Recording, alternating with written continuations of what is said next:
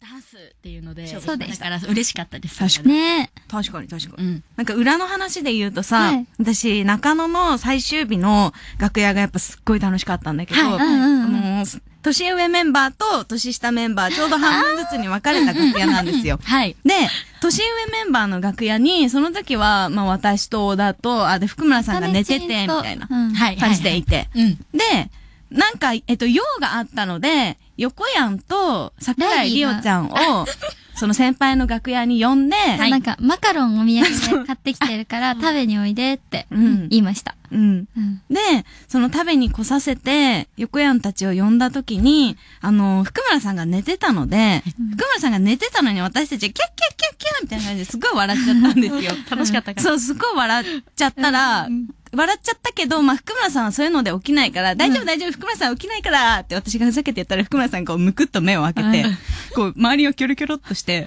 あの、ライリーがいることに対して、え？みたいな。めっちゃ面白い。なんで？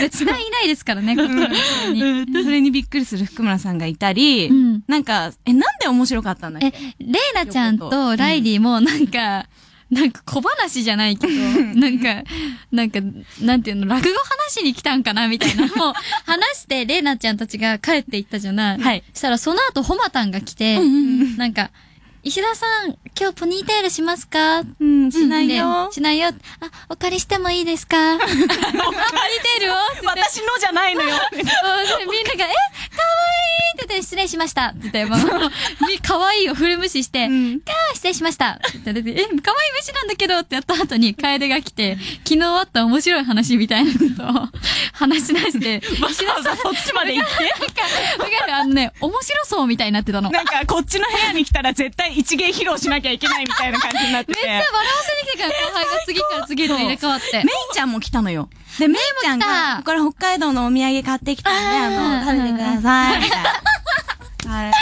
はい。なんか、クッキーはいろんな味があるので、言いに来て、それも可愛かったから、私がちょっと動画回しながら、え、可愛いって言ったら、失礼しました、なんか、私たちの可愛いを無視してみんな帰っていく。振る無視 って言って、メイは、うんって言って帰ってくる。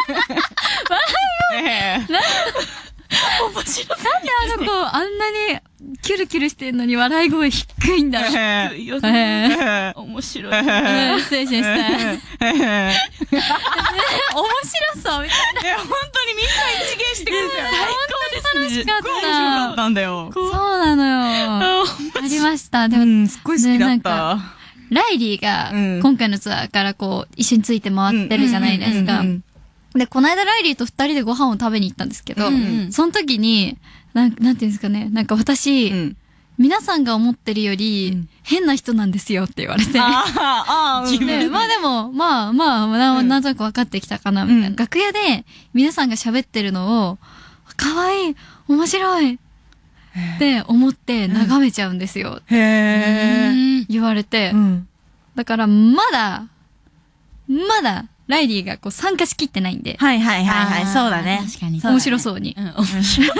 確かに、一発、一芸して帰っていくぐらいにならないとね。そうなんですよ。確かに確かに。あの時、レイナとツインだったから、はいはいはい。へえ。楽しみです。どんどんどんどん。と、ね。いろんな面が見えてくる子なんだろうなって。確かに確かに一人称リオなんですよ、あの子。も知らなかったよう。喋ってると、リオがって言い始めて、知らなかった。そう、でもそれも自分で私、一人称、リオなんです。発表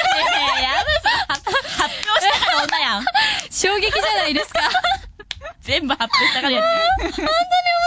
へえ。面白いし、面白いし。楽しみ。もうね、どんどんあの、突っ込んでいってください、皆さんも。わかりました。はい。ね。ていう話もうはまだ一回しか出てないわけでしょ？そう前だね、初投稿しましたけど、これから楽しみですね。楽しみです。うんじゃあ、もう一枚読めるかな？じゃあ読みます。